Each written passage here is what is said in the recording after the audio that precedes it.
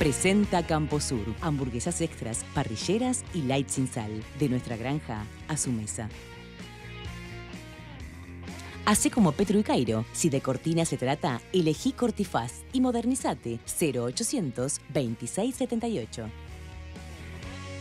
Y porque hoy es viernes, quiero compartir con ustedes esta información que frecuentemente puedo difundir en las tardes. Esto es genial, escuchen bien por favor. Eh, si tú entras en créditouruguayo.uy o mandas un WhatsApp por tu celular al 092 424242 de manera inmediata llega a ti crédito uruguayo sin que medie ningún papel te podés llevar 20 mil pesos en 18 cuotas de 1.900 pesos, pero en el mismo momento en el que envías el WhatsApp. Pim pum pan y en tu bolsillo estará el dinero de crédito uruguayo ya. Me fascina como usted dice pim pum pan. ¿Vio? Este, pim pum pan se puede dañar el cerebro. Sí, exactamente. Eso iba a relacionarlo, porque pim pum pan puede ser un, estallido. Sí. Eh, bienvenido, Ignacio Morín, doctor. ¿Cómo le va? Este, viene con la casi con la novedad, ¿no? Está como con, como un niño con un juguete nuevo, ¿puede ser, puede ser así? Efectivamente, eh, en el día de ayer presentamos con el ministro Salinas el programa de salud cerebral.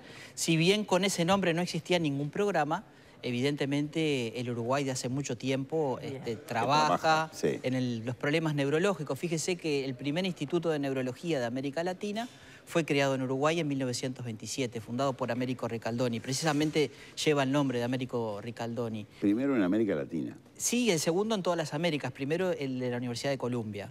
O sea que en ese sentido fuimos unos adelantados.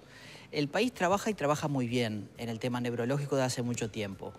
Lo que sí el ministro Salinas decidió fue eh, elaborar un paquete de medidas específicas para coordinar algunas acciones eh, mejorar la atención de algunas patologías neurológicas y sobre todo difundir en la población algunos hábitos saludables preventivos en relación a la salud cerebral. Porque todo el mundo tiene claro cómo prevenir, por ejemplo, los ataques cardíacos. Hay que controlarse la presión, controlarse el azúcar, controlarse el colesterol. Sin embargo, en el tema salud cerebral eso no está tan claro. Entonces, Pero no son los mismos, eh, los mismos ateromas eh, que obstruyen las arterias del corazón, los que pueden llegar a obstruir las del cerebro? Son los mismos, pero no es el único problema de tipo neurológico, porque también están los problemas degenerativos, la enfermedad de Alzheimer, como tú decías, los traumatismos cerebrales. Es decir, que hay un conjunto de medidas que van más allá de lo vascular.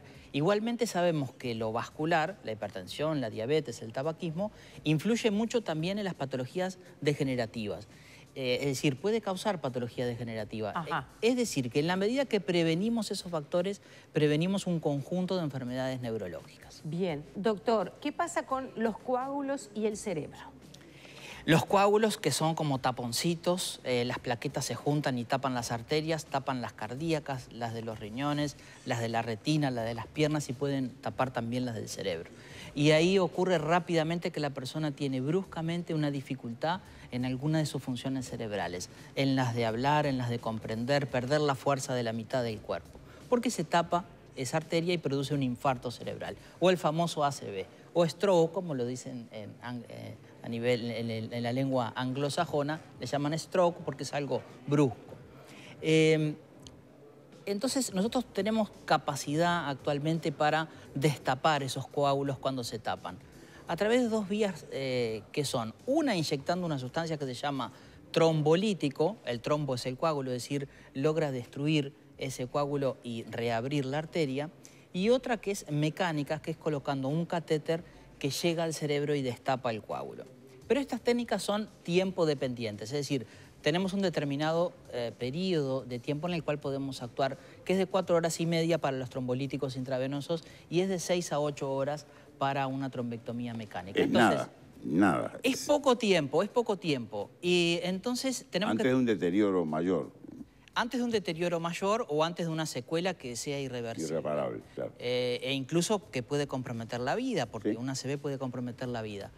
Entonces tenemos que tener muy aceitados los mecanismos, mejorar la coordinación para que, en primer lugar, la prevención, como le decía, de estos asuntos, la hipertensión arterial, el colesterol, el tabaquismo.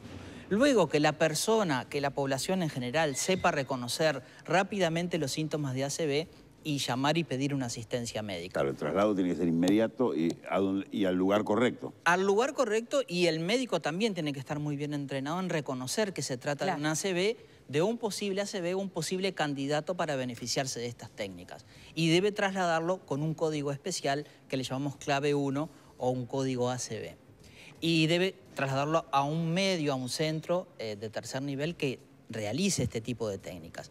Centros de trombolisis o centros donde haya un angiógrafo que permita hacer una trombectomía mecánica.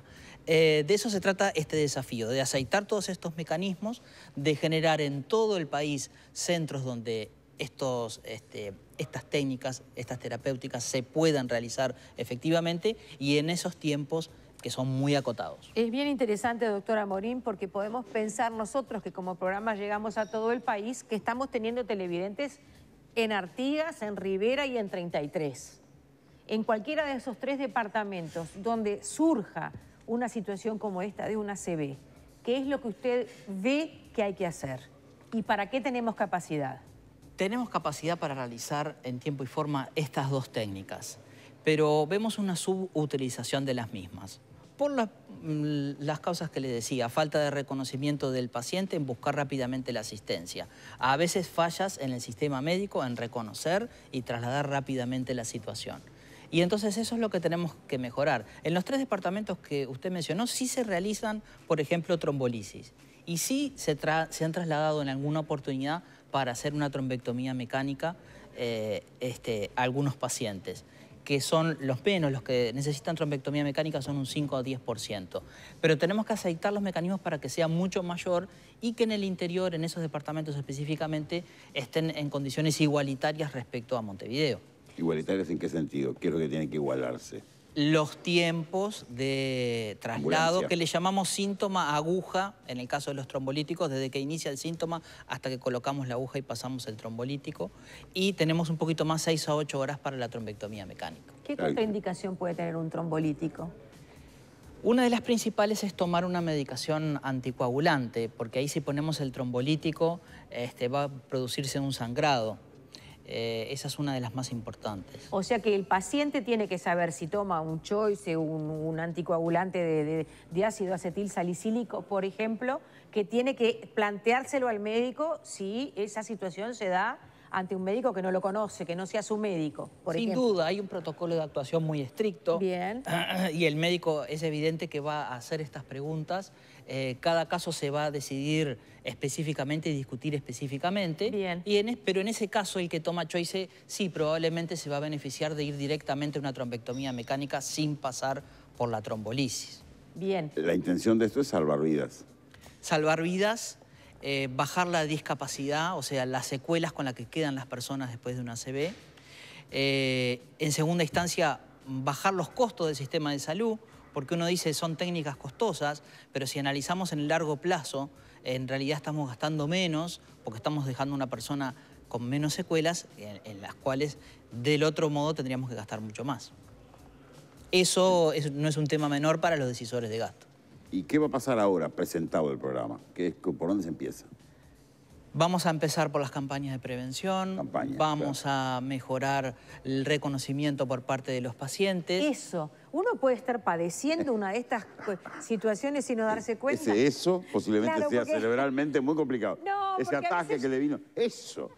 ¿Sabe qué, doctor? Llegar al médico es toda una tarea. Hay gente que no quiere, hay gente que lo niega, hay gente que le tiene miedo, hay gente que dice, mm, los médicos... De ninguna manera. Ahí está. Hay gente que dice, de ninguna manera. Entonces, si uno tiene un síntoma que está allí diciendo, esto es una luz roja que se enciende, no me venga con el ninguneo, atiéndalo. Pero ¿a qué tiene que atender? Porque yo sé de algunas eh, señales que la gente dice, me acuesto y me duermo un ratito y capaz que se me pasa. Y en el me duermo un ratito y capaz que se me pasa está la vida de la persona o la calidad de vida en los próximos 10 años. Ante la duda siempre hay que consultar, Bien. aunque sea telefónicamente. La primera orientación telefónica puede aclarar mucho y depende del contexto clínico, los factores de riesgo que tiene la persona, pero eh, hay algo muy característico que es perder la fuerza de la mitad del cuerpo, por ejemplo. Quedarse bruscamente sin capacidad para hablar correctamente. ¿Caerse? Caerse producto de un problema motriz, por ejemplo, de perder la fuerza. Perder una pierna, por ejemplo, perder un, apoyo. Sí, puede ser perfectamente y hay que consultar inmediatamente. Luego, si es otra cosa, claro. bueno, no aplicaremos estas técnicas. Perfecto. Entonces usted decía perder fuerza en una parte o en la mitad del cuerpo. Eh, el tema del habla que usted mencionó más temprano.